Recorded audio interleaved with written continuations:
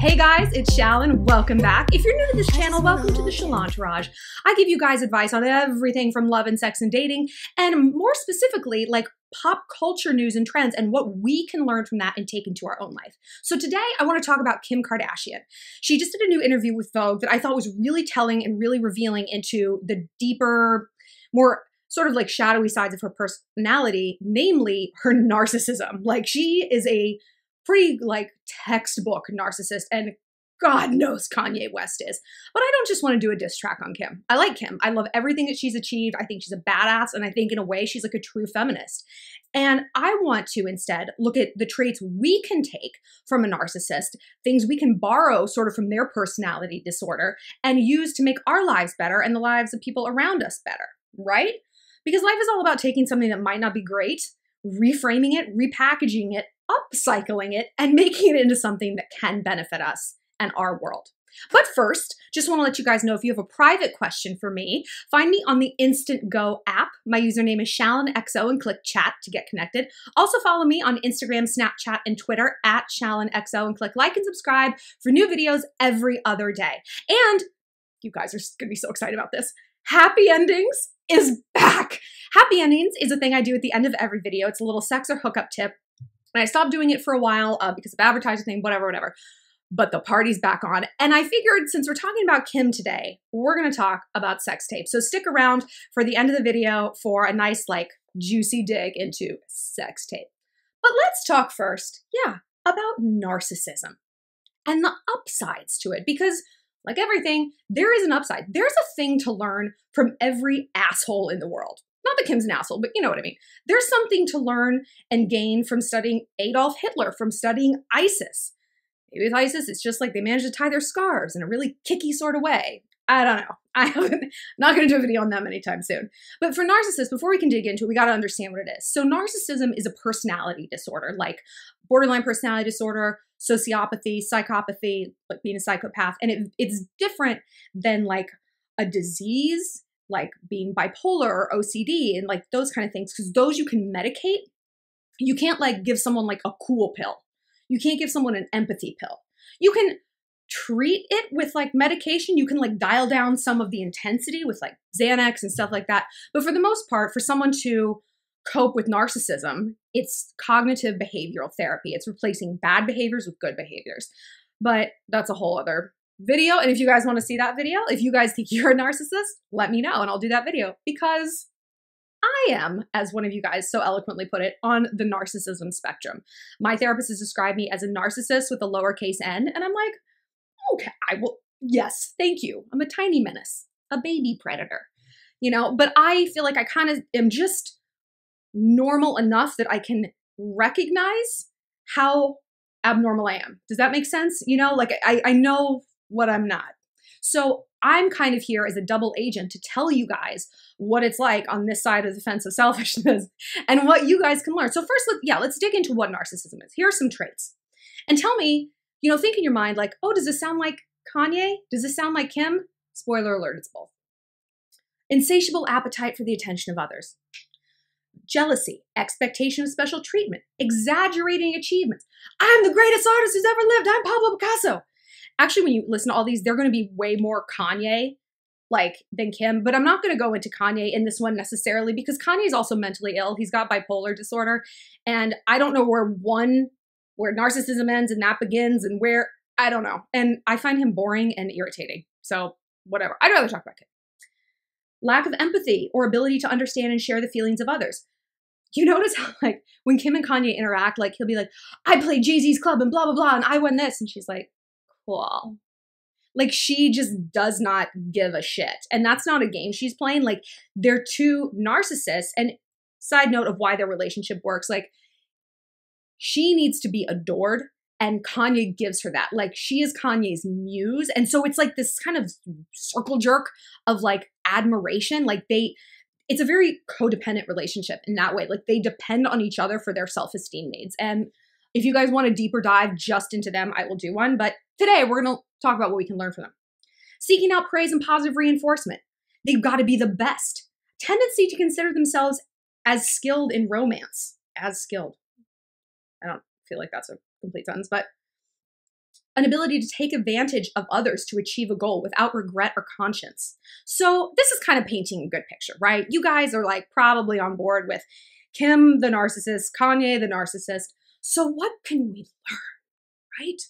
And like I said, I like Kim. I love everything that she's achieved. And my indictment of the Kardashians has always been that they don't give back to society enough. Like, if they asked collectively their followers, even one of them, for a dollar donation each, a dollar, they could eradicate a disease. They could wipe out a social issue forever. Think about that. So it's always been very irritating to me that they don't galvanize their power for good, only for sort of like self motivating thing, money. But we'll get to that later because Kim addressed that in her Vogue interview. So, number one, we're going to talk about. Thing I want you to do is to take from Kim is to be selfish. Selfishness has like this really bad rap. Perhaps I, a narcissist, am biased about that. But I think there has also become this glorification of martyrdom, especially for women. I mean, think about how you speak about your energy level. Oh, I'm so tired. I'm tired. Oh my God. Uh, I'm tired. I know. I said, I'm so tired. It's like, that's like a badge of honor. We hold that shit up like Simba. Look at how tired and bedraggled I am. Like that proves our worth. That's a patriarchy talking. That's capitalism talking. People want to keep us working and keep us producing and feel make us feel ashamed when we need to rest and make us feel ashamed when we prioritize ourselves and our goals. I get a ton of questions from you guys talking about how you can help the guy in your life reach his goals. And he needs help. He's like sad. Blah, blah, blah, I don't give a shit about that guy. I give a shit about you. And you need to give a shit about you. Set your goals, be selfish, serve yourself first. You cannot be half of a whole in a relationship if you don't know which half you are. You don't have, if you don't keep this together, you're not going to be able to help anyone else. Think of yourself as like a vehicle. Like you can't, like an ambulance. An ambulance isn't much good to anyone if the tires are going bald and there's no brakes and there's no gas in the tank, right? Ambulance got to look out for ambulance, number one, before it can go and help anyone else. So be an ambulance. Be selfish. Number two, be self sufficient. This is a big hallmark of narcissists that people don't, you know, that they don't focus on is like they're very, very independent. And it's because they don't have a lot of necessarily like super close relationships because it's probably it's difficult for them to make them because most people don't want to be in a relationship with someone who's not real high on empathy someone who's not really listening to their problems or caring about them at all who's just saying cool when you bring home another grammy it's just like that gets old real fast. So, but it then the narcissist learns to depend on themselves. Look at the Kardashians. They don't depend on men. They never have. And they are all, I think, sort of like on this narcissism spectrum. Like, I mean, Khloe is sort of her own sad little, she's got her, she's got her own issues, and I've done a video on her. But they rely on themselves. At the end of the day, their success and their failures are theirs, right? And I think that's something really good. Like, we need to cultivate that more. It's like, no, that goes back to being selfish. Great things happen when you put yourself first in your life. And this is also the misnomer that putting yourself first is not throwing everyone else over the wall. Fuck you. Ah. No. Again, it's filling that ambulance up with gas, keeping it in good shape. Now you have what you need to help other people. Now you can be a good mom. Now you can be a good girlfriend because you've taken care of you. Because when you're depleted, you're trying to get it from everyone else, right? And you're resentful when they don't give it to you. But like, we are all only responsible for ourselves. There is no prince coming to save us. No one is riding in on a white horse to rescue you from your own decisions and from your own loneliness and your own mind and your own lack of goal setting. You got to be that for you. This is something else I like. Be strategic about who is in your life. And exploitativeness is a huge hallmark of narcissists. They, they're users. You know, they use people for what they're good for. And when they're not good, they're gone. And like Kim, I think, is very, very strategic about who was in her life. You think she was friends with Paris Hilton because she was like just loved Paris's personality? Another classic narcissist. I mean, she's just uh, wow, wow, she's she's intense. Well, like no, Kim was being very strategic, and like I also this is where the narcissism ends and me being a New Yorker begins. I am very strategic about who's in my life. Every one of us in that city is because we are tired. We are tired and busy and we only got so much time. So what the fuck do you want? You better be giving me something. And when I say giving me something, I don't mean like money or a job. You better be giving me, you better be lending me an ear. You better be giving me empathy. You better be like a good friend to me and a soldier for me. If you're not, if you're just taking, taking, taking, taking, and there's no reciprocity, no, I'm not going to be a go to for someone I can't go to you know and this also this sort of like narcissism served me well in business because i am very charming and i don't burn any bridges i keep everyone kind of like you know i compartmentalize people there's work people there's like my good good girlfriends but it's like i I keep, I maintain those relationships just enough. I water them just enough so that if I need them, I can call on these people and it's not like out of the blue and so naked that I need them for something, that I need them for a business thing, a recommendation, a job, a partnership, a what, a whatever. And like, I don't keep people in my life who I'm not organically enjoying. You know, like there is that element and that foundation of like, okay, I like these people. If they're just like terrible, like I don't care what you can do for me. If you just suck, if you're mean to others and you spew hate on the world, no, I don't need you. I can burn that bridge. But I think about it. I'm very Machiavellian in who I have in my life and the role that they play. And I I mean, I hope people don't think that they're just a means to an end because I really try really hard to make that not very apparent. but that's business. That's business. Kim knows that. She doesn't have a big circle. The people in her life are there because they're doing role, and people do double duty. I've said this before in videos about the Kardashians. Like at that level, it's really hard to make friends. You kind of just don't make friends. That's why she keeps Jonathan Cheban around because he's just like been there. But like her, one of her good friends is her makeup artist, another is the stylist and whatever. It's like these people are all fulfilling a role. Even the way she speaks about Kanye, he's my number one stylist. I run everything by him. He has a role in her life beyond just love. So look at the people in your life. Do they have a role in there beyond just like emotional seat filler? Are they just like, well, they're my group of friends. It's like, do they give you anything? Are you learning from them? Are you bettering yourself because of them? Maybe not. Ah, disconnect from things that don't serve you, right? All right, we cover that. Oh, wait. Okay, no, we didn't. Disconnect from things that don't serve you. This is like what I took in a big way from Kim's Vogue interview. She was talking about Kanye and how he has re accepted his bipolar diagnosis. Okay. I mean, he has and he hasn't, in that he, Kim admitted like he, he's not taking medicine. Look, it's everyone's individual press preference. Those antipsychotic drugs are very, very powerful and they have a huge muting effect. And that's what she said that like it really affected his creativity. Like I know I used to have clinical depression and when I would take antidepressants, I just felt like gray. I didn't feel black, but I didn't even feel that interesting. I was just like, Ugh. so it, I really didn't like it. And I understand where he's coming from. However, I think if you are going to be a father and a husband, I think that's kind of a selfish thing to do because now everyone else just has to deal with you. You get to do whatever, and everyone else has to completely orient around dad because dad's not having a great day. Dad's having a bad episode. It's in essence, I think, kind of emotional terrorism. You're sort of holding people hostage to the way you have chosen to live your life. But we're not going to talk about Kanye. But one thing Kim did say is like, she has had to disconnect from him in a lot of ways because it was giving her so much anxiety the decisions he was making. She was talking specifically about him wearing the MAGA hat and like being a Trump supporter and just like that whole slavery is a choice. Oh my God, Kanye. And she's like, it was giving me so much anxiety and screaming it about him. And I finally, I just had to like, I forget her exact words. She's like, I just had to disconnect. I don't care anymore. Can you imagine how hard that is to do with your husband? We know how hard that is to do with anyone in our life. To just be like, I am as the cliche goes, I'm canceling my subscription. I'm over your issues. You know, it's really, really hard to unplug from a situation where you were just like, please be better. Like, be healthier. We've seen a friend in a toxic relationship.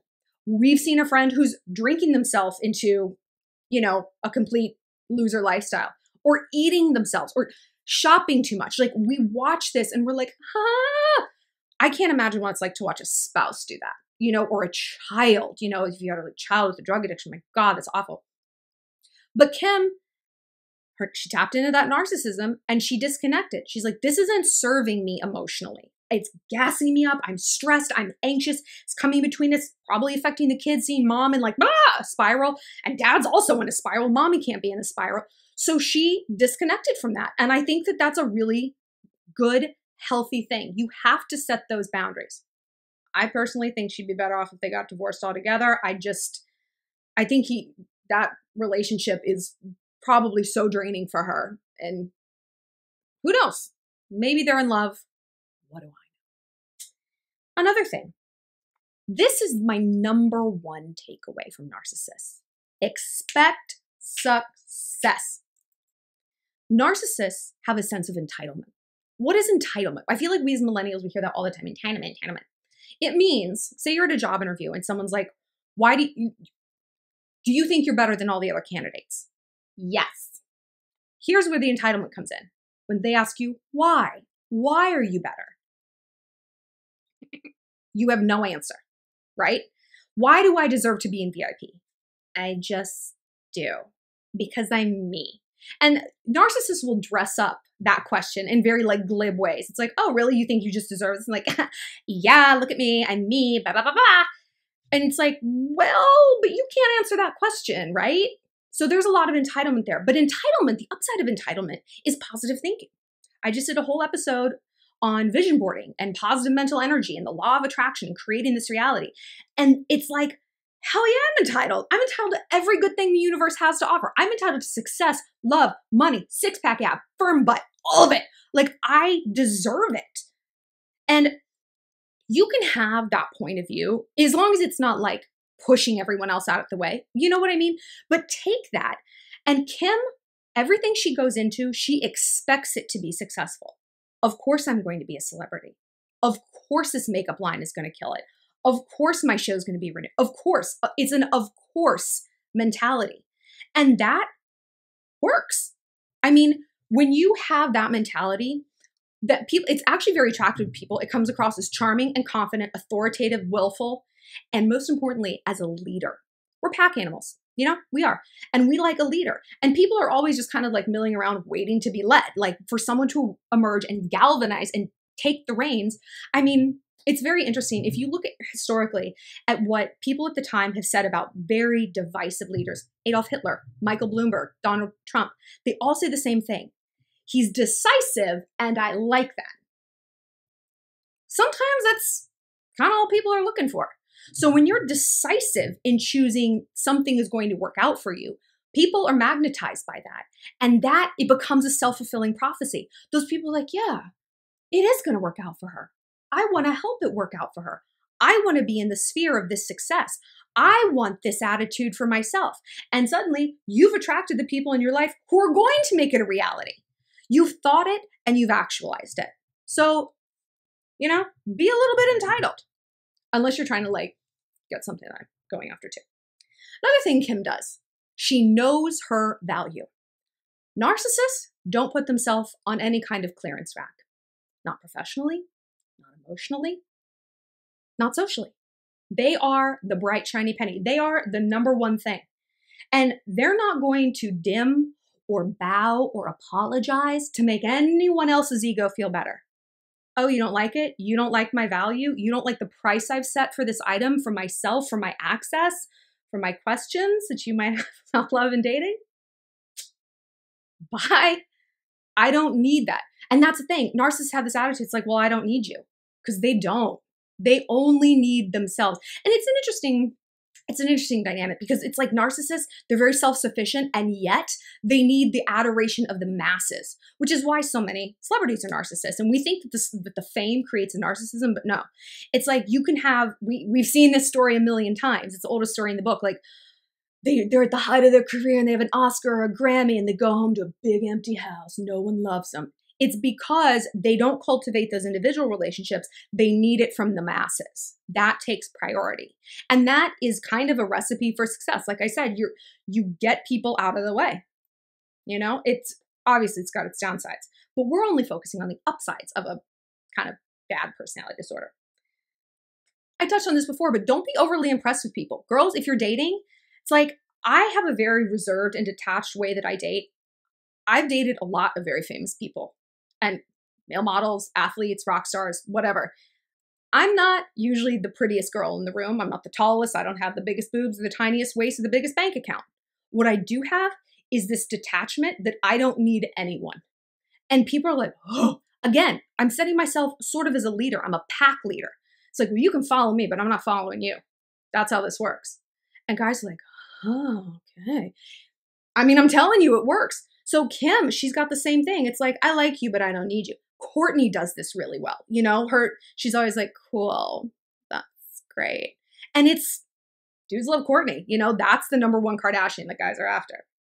So take a little bit of like an aloof stance. It's like, all right, you're just like telling me all about your like stock bonus. That's cool. That's great. Nice. Why don't you ask me questions? Focus on me. I don't want to hear all about you. Another thing narcissists do is they don't take responsibility. It's everyone else's fault. It's never them because it's an ego thing, you know, like they're not going to take responsibility. And that is an odious trait, obviously, when people, you, you know what it's like. I'm sure you guys know narcissists and you call them out on something and they deflect or they're like, well, you do that too. And it's like, well, it's because of blah, blah, blah, blah. But they're never just like, oh, you're right. I'm sorry. That's awful. They don't do that. They deflect and they push away.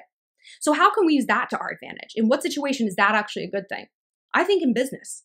Ladies and guys, hopefully not everyone, has experienced this where it's like, it's the group project thing. You get a bad grade in a group project or on a project work, and it's like you find yourself apologizing, taking the responsibility. It's like, no, no, no. Can you be like, actually, Brent in accounting dropped the ball on the thing I assigned for him. Would you like to speak to that? Like, I, this is how I operate in business. It's like, uh-uh, I'm not falling on my sword when people drop the ball on what they were supposed to do or didn't contribute or hogged all the limelight when it was convenient and then when it actually came time to do something they were nowhere to be found. No, you're getting your ass called out. No thanks. And that's how you should behave. And again, it's like I don't care if people like me. I don't need them in that way. And last but not least, I said I would touch on this tonight. We're here.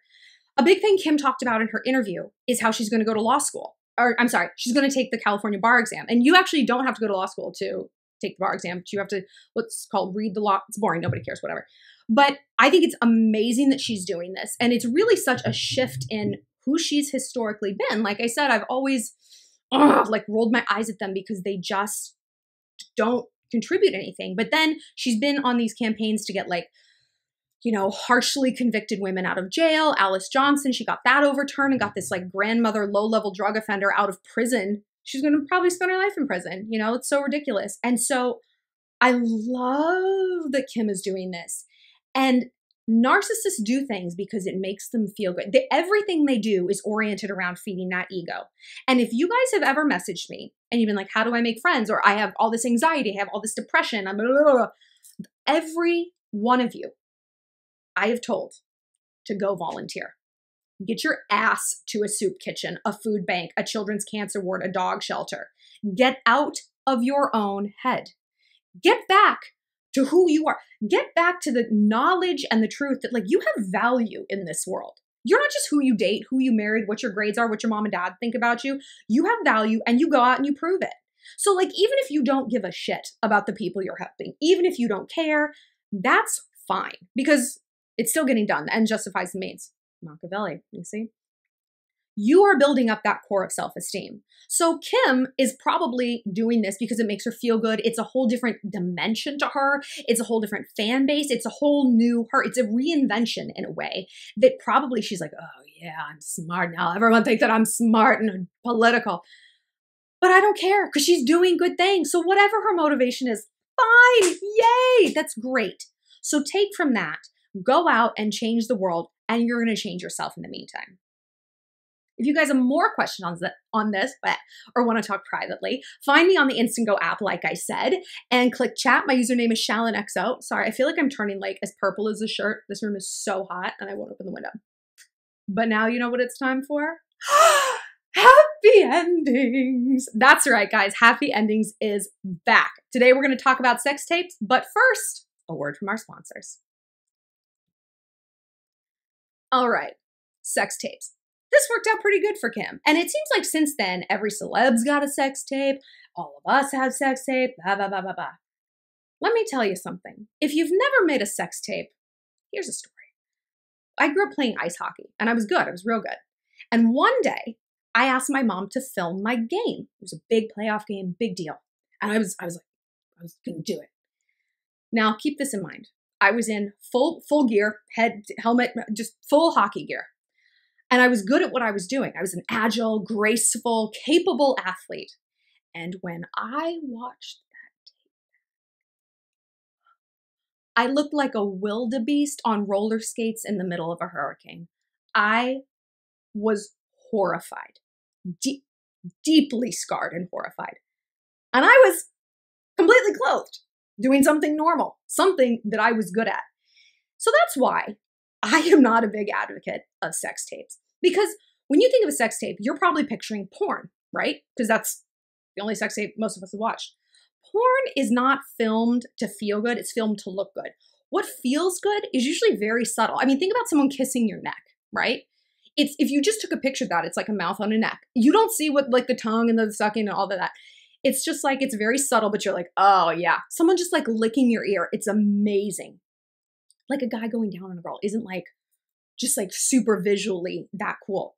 So what we see is not going to feel good. So it's like if you're going to film what you organically do in bed, which is the things that feel good, it's not going to look great on camera. And also, the hockey example. You don't know what you look like from certain angles, and God made it that way. That's why you can't rotate your head 180 degrees behind you. You're not meant to look at your own ass from that angle, or perhaps a variety of angles. You're not maybe meant to look at your vagina because I mean you should like as a as a woman you should like be aware of it and look at it, but perhaps not on camera because you're comparing it to a porn star's vagina, which is waxed and bleached. Yeah. Because the vagina isn't supposed to be like bright white and pink. Like it's not a goddamn candy cane. It's supposed to have like color variations. Certainly, if you're a person of color, there's not a lot of that represented in porn, certainly not as much. So it's like you might look at this tape and be like, I am a monster. I'm a monster. And the la- can you imagine ruining sex for yourself? The thing that makes a person good in bed, the number one thing, is confidence. Ah, the narcissist, right? I'm good in bed because I'm confident, because I have this attitude of like, yeah, you want to be sleeping with me, you kidding? You want to ride this train? not not a real train, not like a sex. No, I didn't mean like that. But like, if you take that away and suddenly you're self conscious and you're like, oh no, don't look there. I know what that looks like. That's really that's exhausting for guys because they're like, Ugh. I've had guys tell me before they're like, I don't. I like to hook up with girls who are really into working out. They're fit, not because they feel better. They actually like I've had guys say like I don't want like a super muscular girl. I'd rather have a girl who's a little thicker. Like it's it's nice to have like stuff to grab onto and stuff. He's like, but the fit girls are more confident. And that's what matters. The girls who maybe are a little chubby, and oh, don't like turn the lights up. No, don't touch it. Uh, and it's just like ugh, it just takes you out of the moment. So if a sex tape could even maybe have that consequence, I don't think that's worth it. I don't think that's worth it. Just watch porn. Watch someone else's sex tape. Watch Kim's, it's pretty good. She does this thing. That's a great move. That's a great move. And then, of course, we have to examine the ramifications. Somebody is going to show your sex tape to someone. This, these are facts. Things live in perpetuity on the internet, in the cloud. I don't even know what the cloud is, but I don't trust it. Just like regular clouds. Is it coming this way, that way? What's in it? Lightning, thunder, rain? Nobody knows. Nobody knows until it's already raining down upon us.